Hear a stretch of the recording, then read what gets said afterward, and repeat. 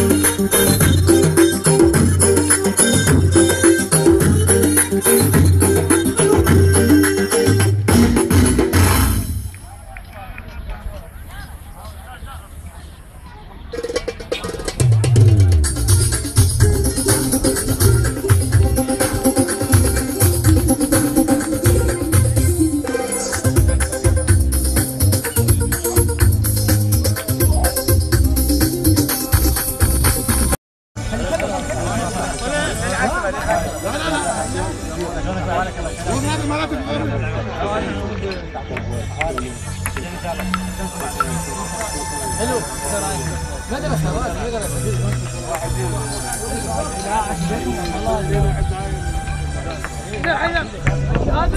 هاي الطيارة الأول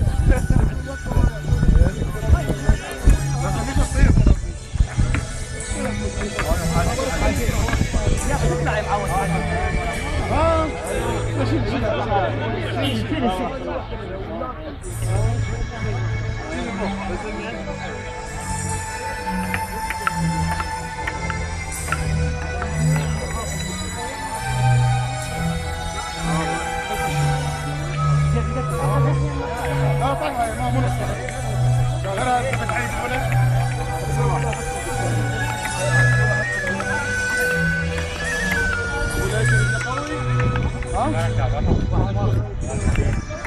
Right, right.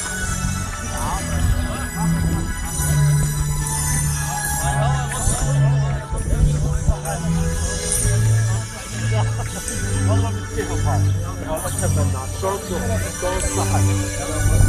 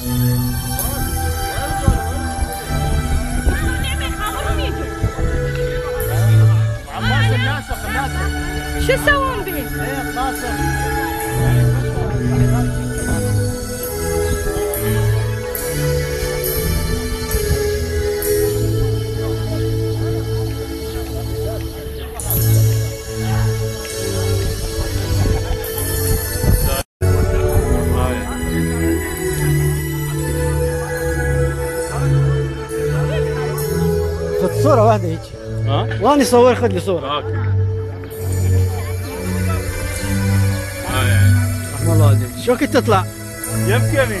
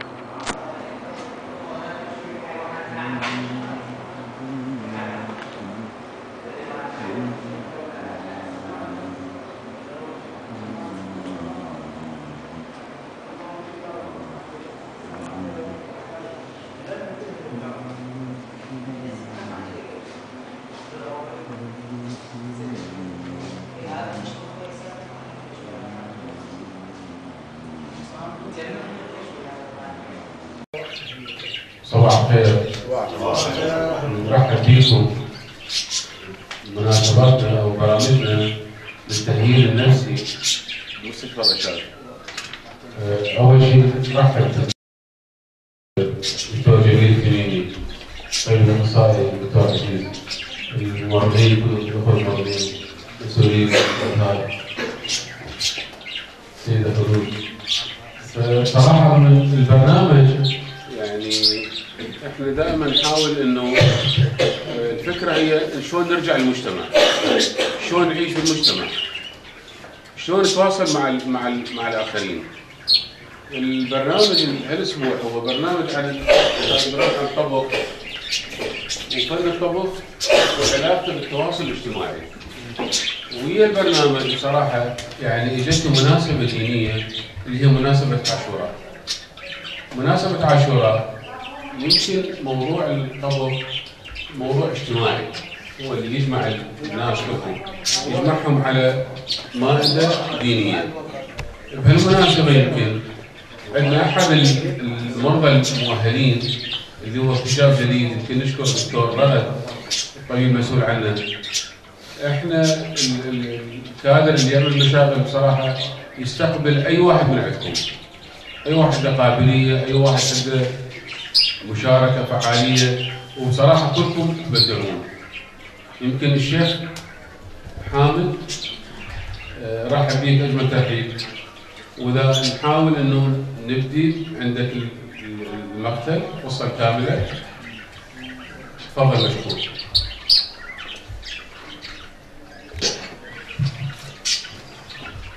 بسم الله الرحمن الرحيم.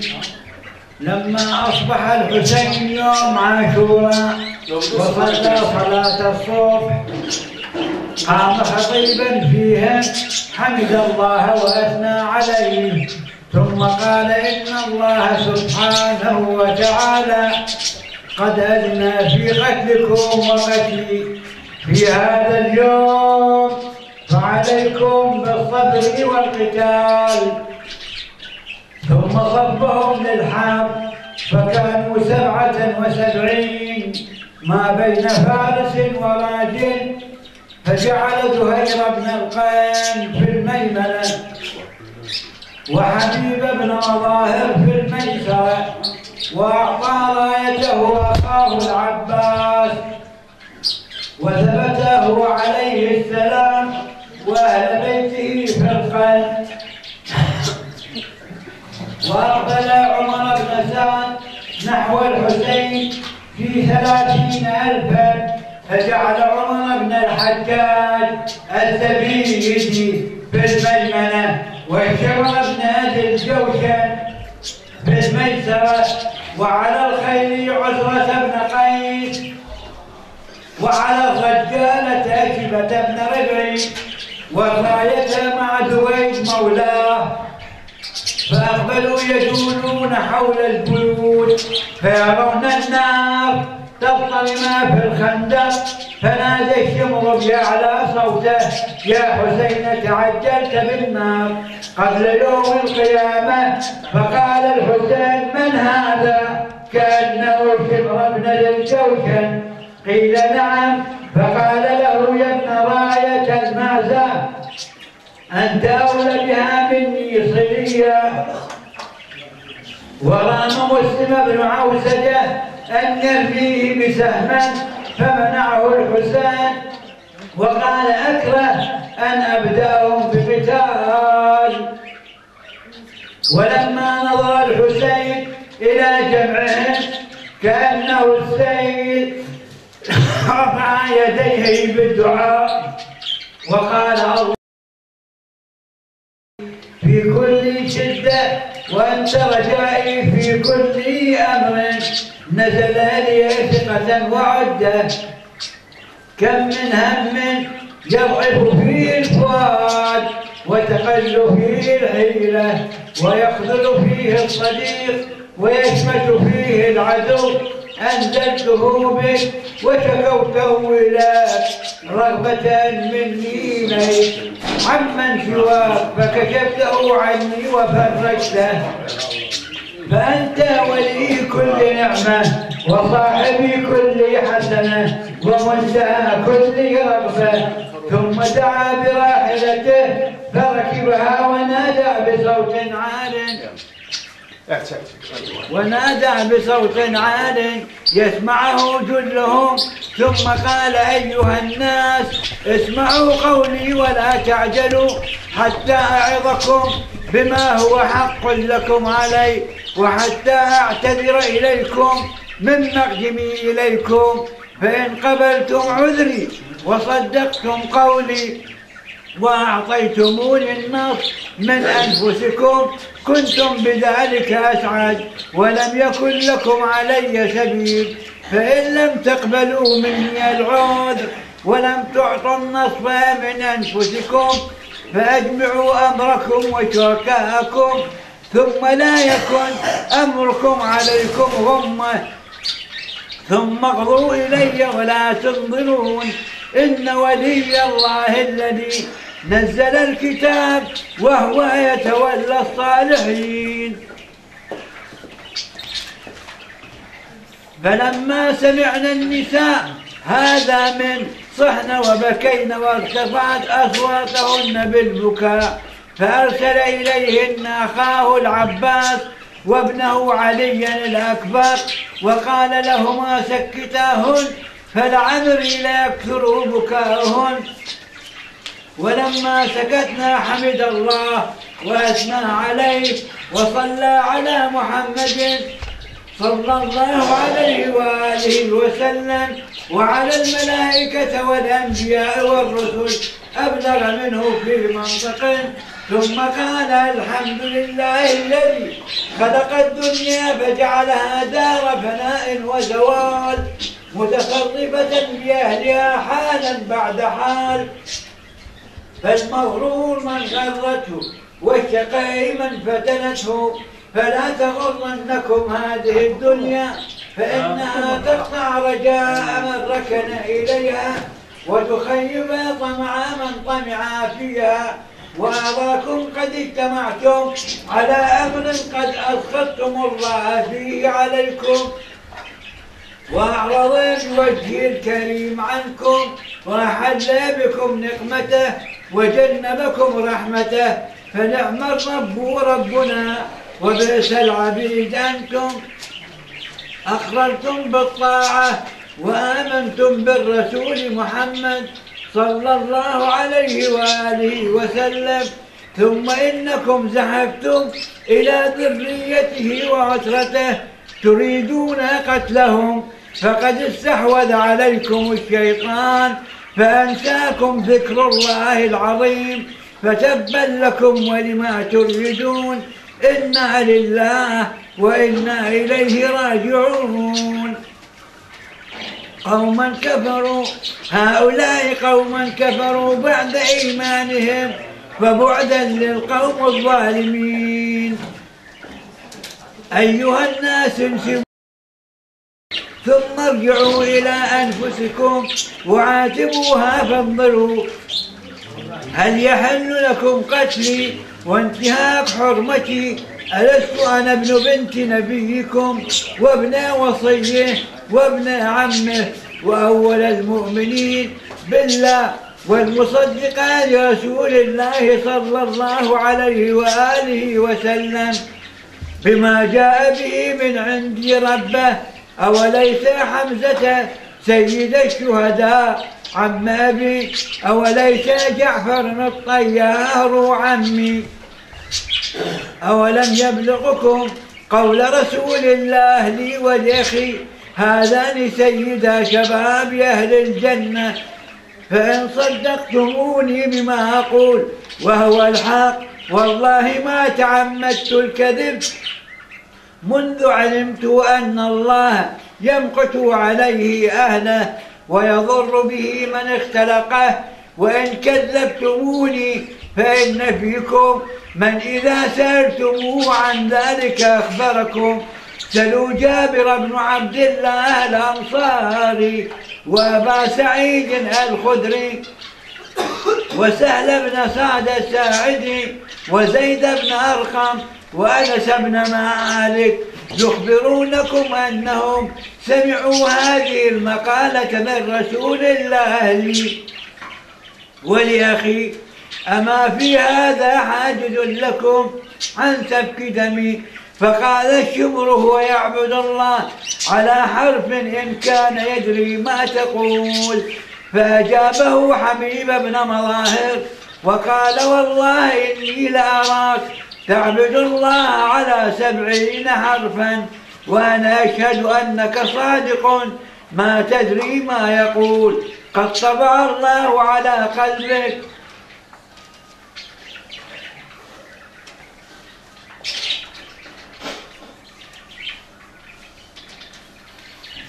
فأجابه حبيب بن مظاهر وقال والله إني لأراك.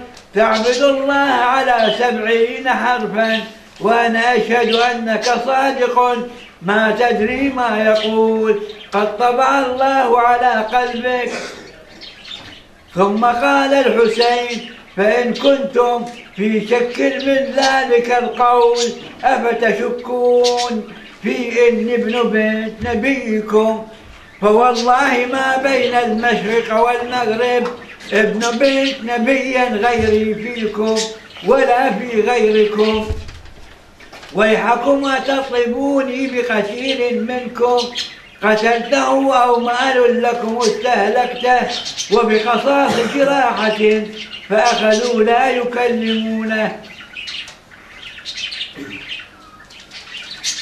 فنادى يا شبة بن ربعي ويا حجار بن أبجر ويا قيس بن الأشعث ويا زيد بن الحارث ألم تكتبوا إلي أن اقدم إن قد أينعت الثمار واخضر الجناب؟ وإنما تقدم على جند لك مجندة. فقال له قيس بن الأشعث أولا تنزل على حكم بني عمك؟ فإنهم لن يروك إلا ما تحب. ولن يصل إليك منهم مكروه. فقال الحسين أنت أخو أخيك أتريد أن يطلبك بنو هاشم بأكثر من دم مسلم بن عقيل. لا والله لا أعطيهم بيدي إعطاء الذليل ولا أفر فرار العبيد. عباد الله إني عشت بربي وربكم أن ترجمون. أعوذ بربي وربكم من كل متكبر لا يؤمن بيوم الحساب. ثم ناخ راحلته وأمر عقبة بن سمعان فعقلها. لم أنسه إذ قام فيهم خاطبا وإذا هم لا يملكون خطابا.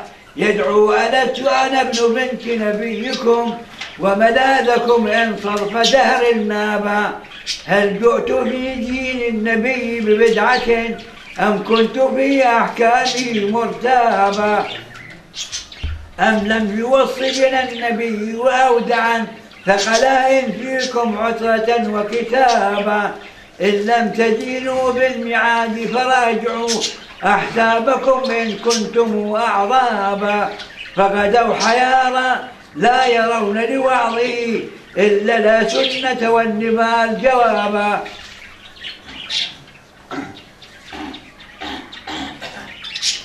وأقبل القوم يزحفون نحوه وكان فيهم عبد الله بن حوزة التميمي.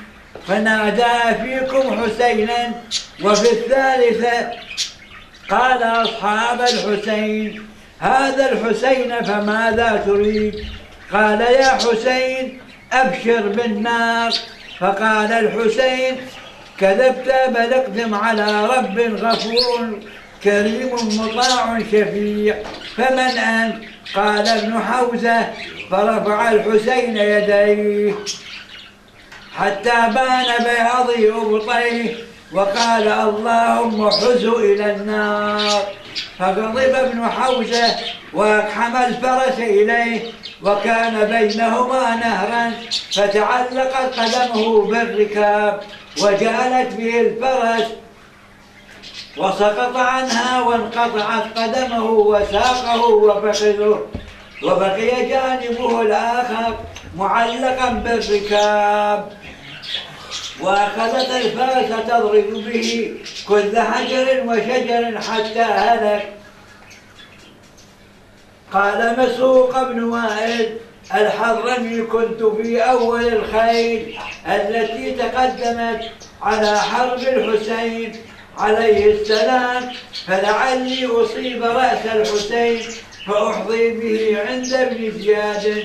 فلما رأيت ما صنع بابن حوزة عرفت أن لأهل هذا البيت حرمة ومنزلة عند الله.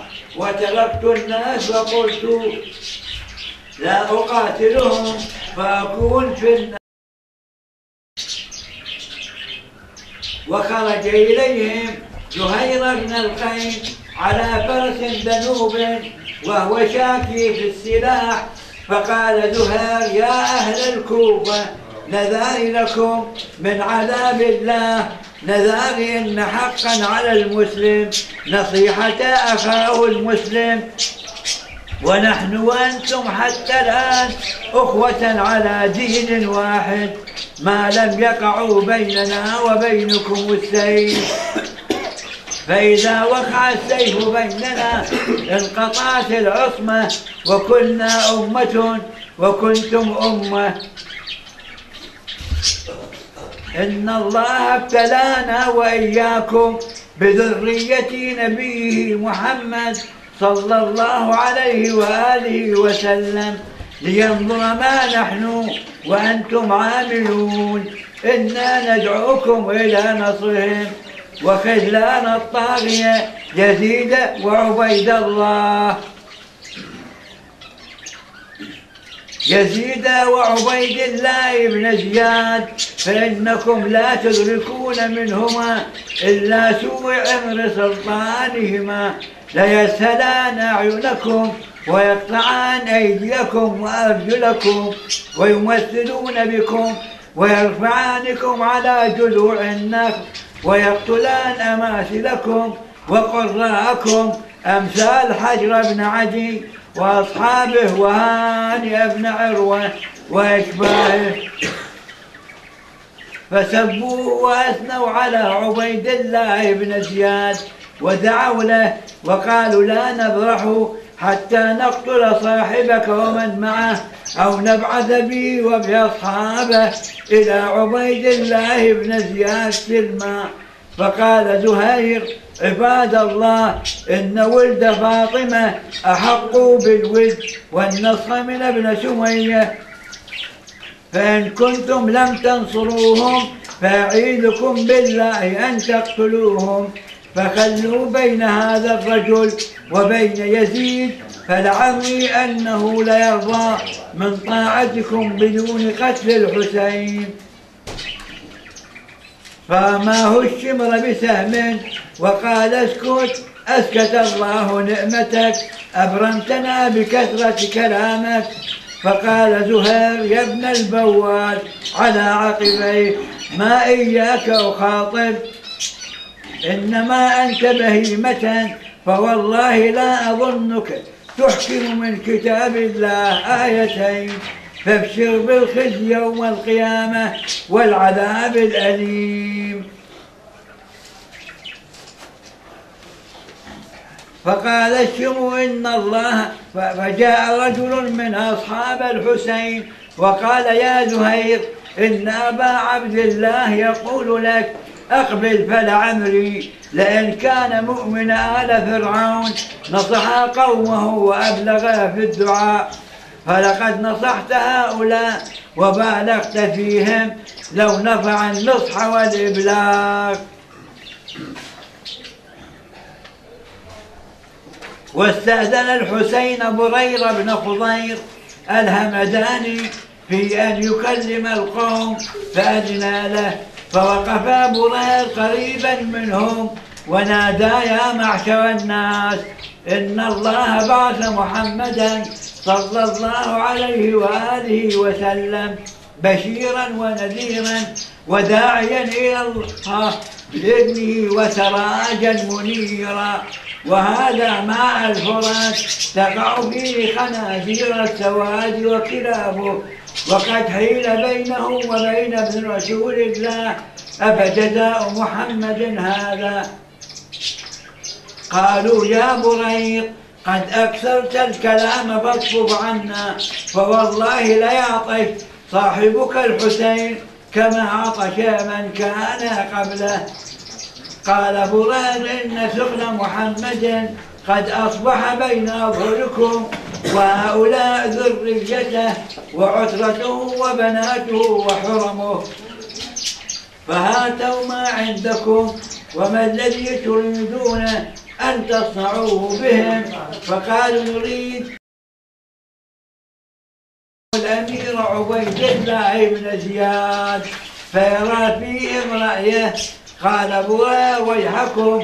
أفلا تقبلون منهم أن يرجعوا من المكان الذي جاءوا منه ويحكم يا أهل الكوفة أنسيتم كتبكم وعهودكم التي أعطيتموها وأشهدتم الله عليها ويحكم دعوتم أهل بيت نبيكم وزعمتم أنكم قاتلوا أنفسكم دونهم حتى إذا أتوكم.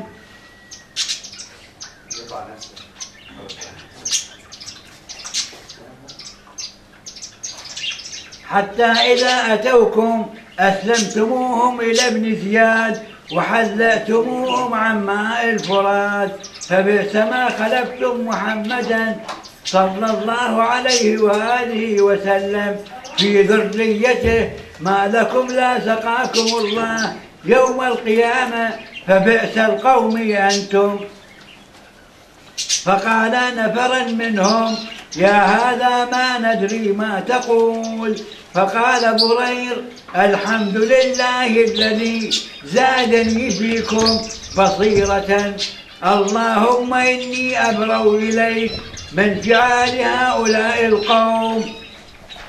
اللهم ألقي بأسهم بينهم حتى يلقوك وأنت عليهم غضبان. فأخذ الرجالة يرمون بريرا بالسهام فتقهقر أي رجع إلى ورائه. ثم إن الحسين بن علي أخذ مصحفا فنشره على رأسه فوقف بإزاء القوم وقال يا قوم إن بيني وبينكم كتاب الله وسنة جدي رسول الله. ثم استشهدهم عن نفسه المقدسة وما عليه إلا من سيف النبي وذرعه وعمامته فأجابوه بالتصديق فسألهم عما أقدمهم على قتله فقالوا طاعة للأمير عبيد الله بن زياد. فحمد الله وأثنى عليه وذكى يستفحش ولكن أسرعتم إليها كطيارة الدبا وتداعيتم عليها كتهافت الفراش. فسحقا لكم يا عبيد الأمة وشذاذ الأحزاب ونبذة الكتاب ومحرف الكلم وعصمة الآثام ونفسة الشيطان. ويحكم هؤلاء تعظون وعنا تتخاذلون أجل والله غدرا فيكم قديما. وشجت إليه أصولكم وتأزرت عليه فروعكم. فكنتم أخبث ثمرا شجئا للناظر وأكلة للغاصب. ألا وإن الدعي ابن الدعي. قد ركز بين اثنتين بين الذلة والذلة وهيهات منا الذلة. يأبى الله ذلك لنا ورسوله والمؤمنين. وحجور طابت وحجور طهرت. ونفوس نبية وأنوف حمية من أن نؤثر طاعة اللئام على مصارع الكرام. ألا وإني قد أعذرت وأنذرت. ألا وإني زاحف بهذا العدد الأسرة الصغيرة مع قلة العدد وخذلان الناصر. ثم أنشد أبيات فروة ابن مسيك المرادي. قال فيها فإن نغلس فغير مغلبين؟ وإن نهزم فهزامون قدما. وما إن طبنا جبن ولكن منايانا ودولة آخرين. إذا ما الموت رفع عن أناس كلا كله وناخ بآخرين. فأفنى ذلكم ثروات قومي كما أفنى القرون الأولين. فلو خلد الملوك إذا خلدنا ولو بقي الملوك إذا بقينا. فقل للشامتين بنا أفيقوا سيلقى الشامتون كما لقينا. أما والله لا تلبسون بعدها إلا كريثما يركب الفرس حتى تدور بكم. دور الرحى وتقلق بكم قلق المحور. عهد عهده إلي أبي عن جدي رسول الله صلى الله عليه وآله وسلم. فأجمعوا أمركم وشركاءكم ثم لا يكن أمركم عليكم غمة. ثم اغضوا إلي ولا تنظرون. إن ولي الله الذي نزل الكتاب وهو يتولى الصالحين. إني توكلت على الله ربي وربكم ما من دابة إلا هو آخذ بناصيتها. إن ربي على صراط مستقيم. ثم رفع يديه إلى السماء بالدعاء. وقال اللهم احبس عنهم. قطر السماء وابعث عليهم سنين كسنين يوسف وسلط عليهم غلام ثقيف يسقيهم كأسا مصبرة فإنهم كذبونا وخذلونا وأنت ربنا عليك توكلنا وإليك أنبنا وإليك المصير واستدعى الحسين عمر بن سعد وكان كارها لا يحب أن يأتيه. فقال أي عمر أتزعم أنك تقتلني ويوليك الدعي بلاد الري وجرجان؟ والله لا تتهنى بذلك عهدا معهود. فاصنع ما أنت صانع فإنك لا تفرح بعدي بدنيا ولا آخرة. وكأنك برأسي على قصبة يتراماه الصبيان في الكوفة ويتخذونه غرضا بينهم. فاغتاظ ابن سعد من كلامه ثم صرف بوجهه عنه مغضبا. وخرج يسار مولى زياد وسالم مولى عبيد الله بن زياد فطلب البراد فوثب حبيب وبرير فلم يأذن لهما الحسين فقام عبد الله بن عمير الكلبي من بني عليم أو عليم وكنيته أبو وهب وكان شريفا شديد الساعدين بعيد ما بين المنكبين. شريفا في قومه شجاعا مجربا. فأذن له الحسين فحمل وهو يقول إن تنكروني فأنا ابن الكلب سوف تروني وترون ضربي وصولتي وجولتي في الحبل حتى قتل جماعة فلم يزل يقاتل. حتى قتل سبعة عشر رجلا فقطعت أصابع يده وإذا امرأته خلفه وبيدها عمود خيمة وأخذت امرأته عمود خيمة وأقبلت نحوه وهي تقول فداك أبي وأمي قاتل دون الطيبين ذرية محمد صلى الله عليه وآله وسلم. فأقبل وهب كي يردها إلى الخيمة فلم تطاوعه وأخذت تجانبه ثوبه وتقول لنا دعك دون أن أموت معك. فقال لها الآن كنت تنهيني عن القتال والآن جوتي تقاتلين معي. قالت يا واب لا تلمني إن واعية الحسين كسرت قلبي. رأيتهم بباب الخيمة ينادي وقلة ناصرة أما من ذنب يذب عن حرم رسول الله؟ أما من موحد يخاف الله فينا؟ فناداها الحسين ارجعي رحمك الله. فقد وضع عنك الجهاد فرجعت وهي تقول اللهم لا تقطع رجائي فقال الحسين لا يقطع الله رجاك.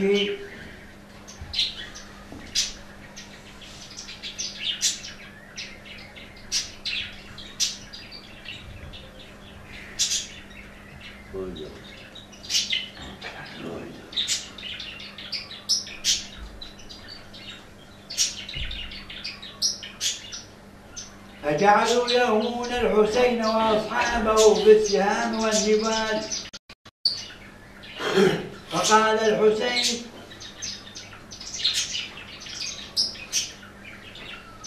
إن كنتم لن تنصروني فأعيذكم بالله أن تقتلوني. فصاح أمام المغيثا يغيثنا لوجه الله.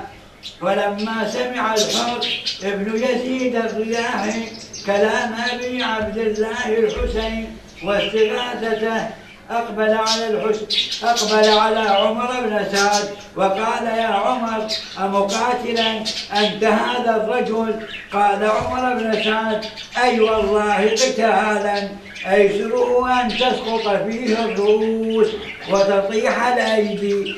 فقال الحر فما لكم فيما عرضه عليكم من الخصال؟ فقال الحر فقال عمر بن سعد أما لو كان الأمر إلي لفعلت ولكن أميرك قد أبى ذلك فتركه الحر ووقف من الناس موقفا وأخذ الحر ابن يزيد الرياح يدنو من الحسين بن علي قليلا قليلا. فقال له المهاجر بن أوس ما تريد أن تصنع فلن نجبه. وقال له المهاجر أتريد أن تحمل عليه فلم يجبه الحر وأخذه مثل الأبكل وهي الرعدة. فارتاب المهاجر من هذا الحال وقال إن أمرك لمريب. والله لو قيل لي من أشجع أهل الكوفة فما عدوتك فما هذا الذي أرى منك. فقال الحر إني والله أخير نفسي بين الجنة والنار. فوالله إني لا أقدر على الجنة شيئا ولو قطعته وحرق.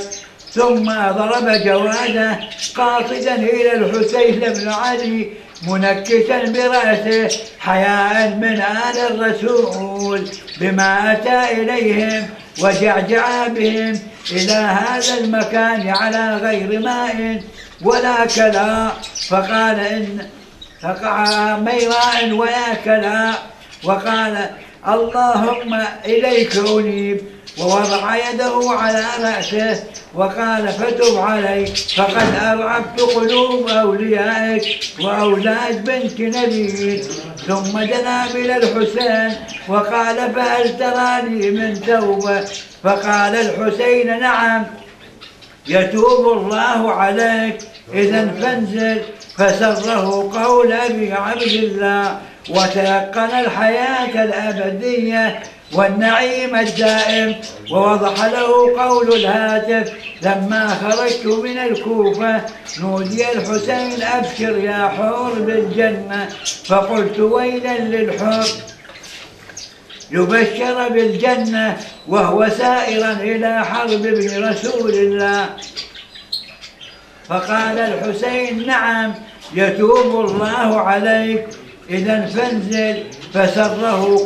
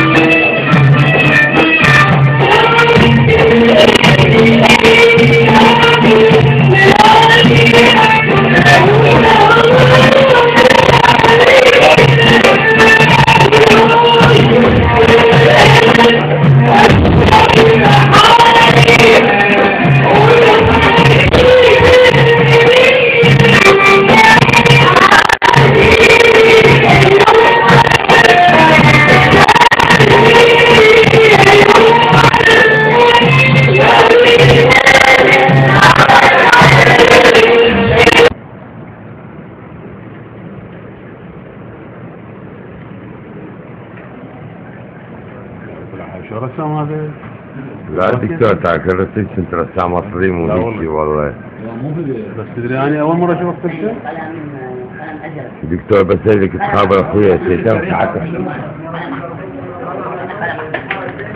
الحمد لله اهم شيء بالرسم لا والله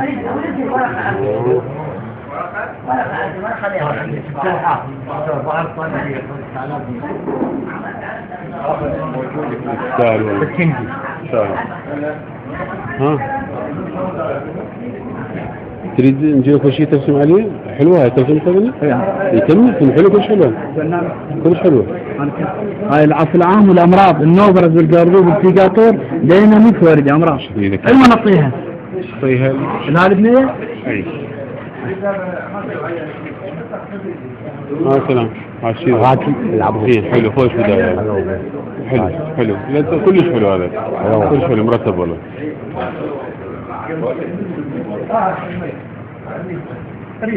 هو اجاك الريف هنا. هذا الريف جيب حلو وشاطه وبلامي ها؟ أنا مرتين صار جاي داخل. اثنين آه. ولا واحدين وعشت كما كل المشغل همين راسي شنو رأيك بالمكان؟ يعني هذا المكان شنو رأيك به؟ يريد يقعد على المصطبة يريد يتحرك؟ ما عندنا مشكلة. باش شوف صار جد نظيف بارك الله بك أم خذ الصورة على المعينين. يا أخوي اللي هلا. وعين شلون ما شاء الله ما شاء الله.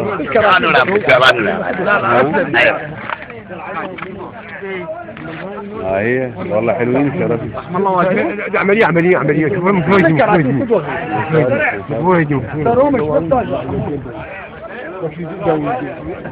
ها شنو رأيك؟ حلو والله تعال عبد الباسط استاذن الباسط يوميا شنو نحن اعطيناكم ما خلينا واحد صورني